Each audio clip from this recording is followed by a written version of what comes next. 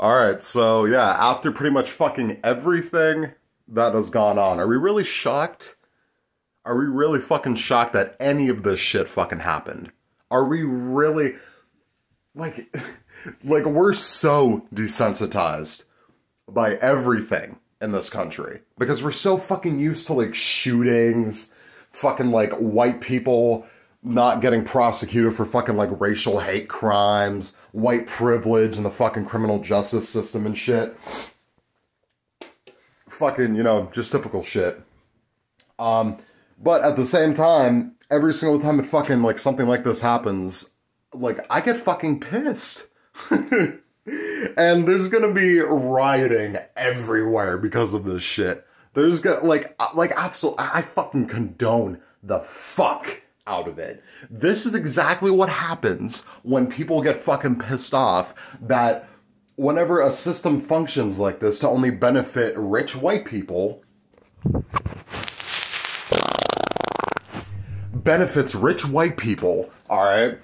Like, you. The fuck?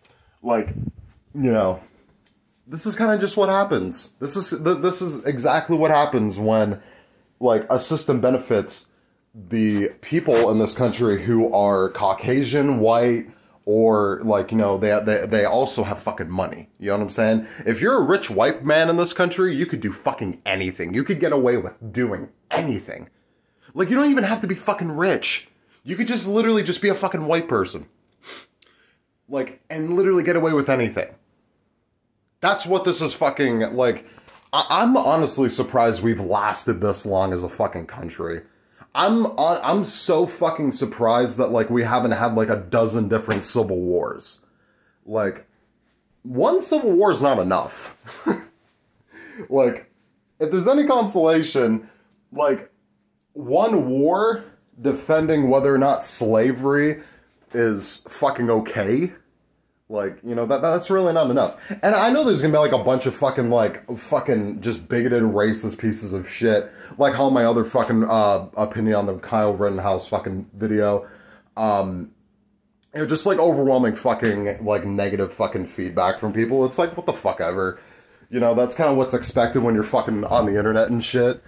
Uh, when you're trying to become a public figure and like you uh put your opinions out there and shit. Um, you know, it's kind of just what fucking happens. Um, one minute.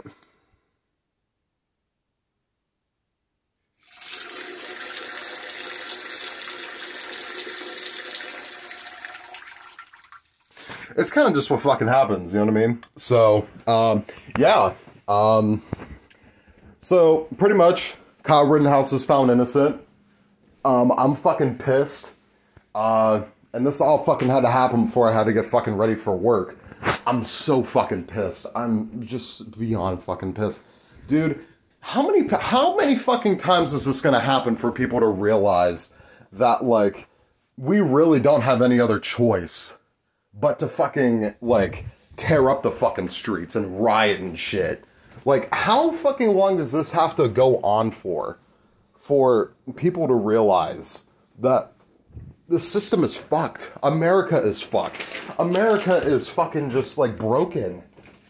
Like really, I, I, I don't, I don't fucking get it. I really don't get how people could fucking sit there and defend this piece of shit ass kid.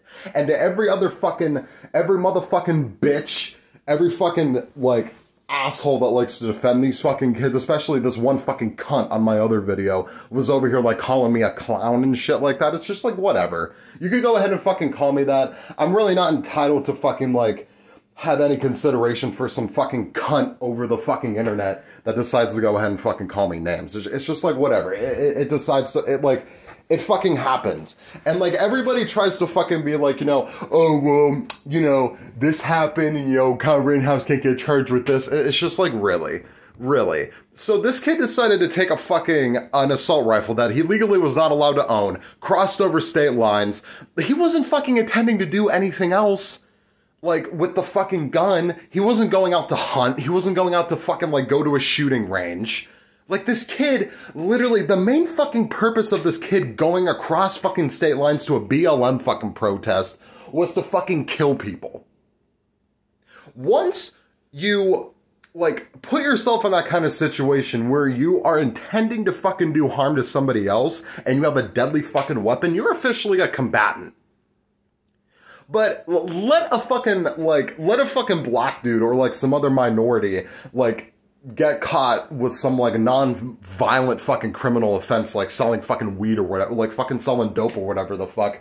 Because they don't have any other choice because a fucking nine to five fucking dead-end job down the street doesn't fucking pay them dick.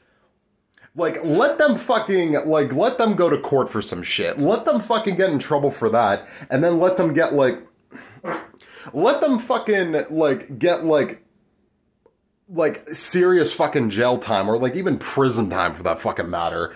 Like, and have the trial, like, have them reach a fucking verdict in like what, like fucking like two, three, four days.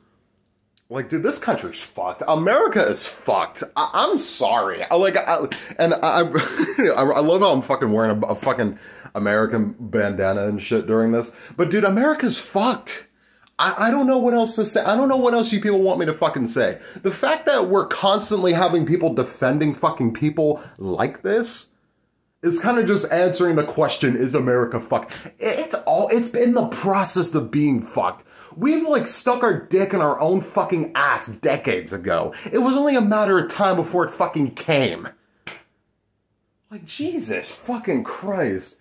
Dude, like, I'm, I'm sure, I'm, I'm, I guarantee fucking to you. There's gonna be like so many fucking comments on this video being like, oh, yo, you're a fucking piece of shit. Yo, you're a fucking clown. You're a traitor. You're a fucking dumbass. You know what the fuck you're talking about. It's just like, whatever.